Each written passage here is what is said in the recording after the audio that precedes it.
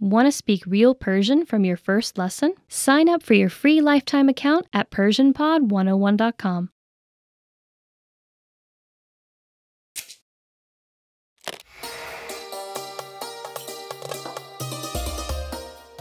سلام به همگی من آنیتا هستم شاید بدانید که یکی از معروفترین و خوشبوترین محصولات جهان به نام گلاب در ایران تولید می شود.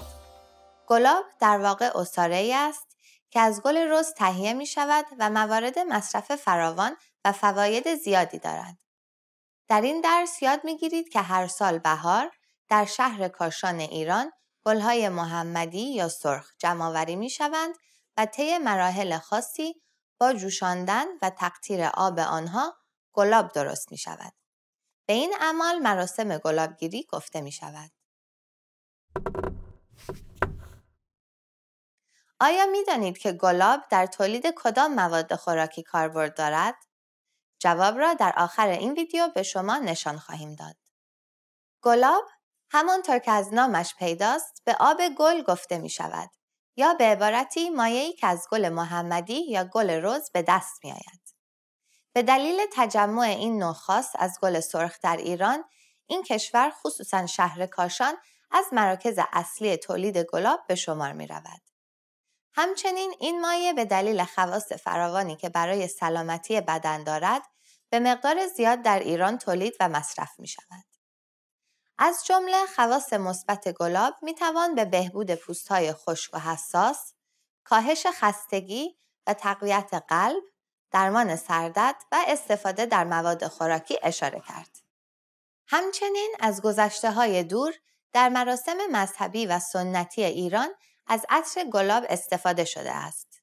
از جمله در عزاداری ها به دلیل ایجاد حس آسودگی و آرامش بسیار کاربرد دارد. از مراحل تولید گلاب همیشه به عنوان مراسم یا جشن گلابگیری یاد شده است. این امر شاید به دلیل پیوند گلاب با جسم و روح و قدمت آن باشد. در قدیم برای مراسم گلابگیری دیگ مخصوص و گلهای محمدی را کنار رودخانه ها برده ضمن خواندن دعاهای مذهبی مراسم را انجام می‌دادند.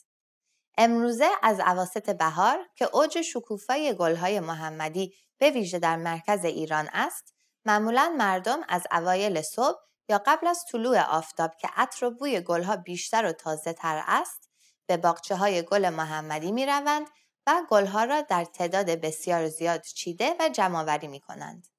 سپس آنها را به مکانهایی که گلاب و وسایل خاص تولید می شود منتقل می کنند. گلاب همکنون به دو شیوه سنتی و پیشرفته تولید می شود. گلهای محمدی چیده شده را به همراه آب فراوان در دیگهای مسی بزرگ قرار می دهند.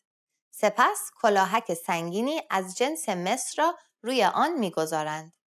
زیر دیگها را با چراغهای کوره‌ای خاص حرارت می دهند. بخارهای حاصل از جوشیدن آب و گل از طریق لوله های بلند و باریک آلومینیومی به نام نیچه به داخل پارچ های بزرگ یا مخزن ذخیره گلاب منتقل می شوند. به دلیل سردی دیواره های پارچ، بخارها پس از تماس با آنها تقطیر شده تبدیل به مایع گلاب می شوند. پس از حدود چهار ساعت پارچ ها پر می شوند و عمل گلابگیری پایان می یابد. سپس این مایه را درون بطری های شیشه ای ریخته به فروش می رسانند. هر ساله عده زیادی از مردم از نقاط مختلف برای تماشای این مراسم به قمصر کاشان می آیند.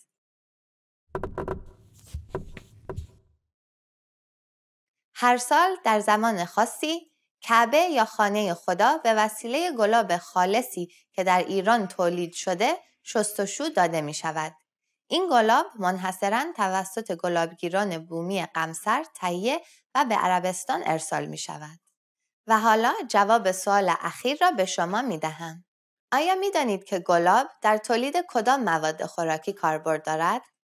گلاب در واقع می تواند در اکثر غذاها و دسرها و نوشیدنیها برای اشخاصی که مزه یا اسانس آن را دوست دارند استفاده شود. گلاب به ویژه در تهیه مربا، شربت، کیک، بستنی و خوراکی های شیرین ایرانی کاربرد دارد. این درس چطور بود؟ چیز جالبی یاد گرفتید؟ آیا تا به حال گلاب را میشناختید یا از آن استفاده کرده اید؟ نظر خود را برای ما به persianpod101.com ارسال کنید. به امید دیدار در درس بعدی.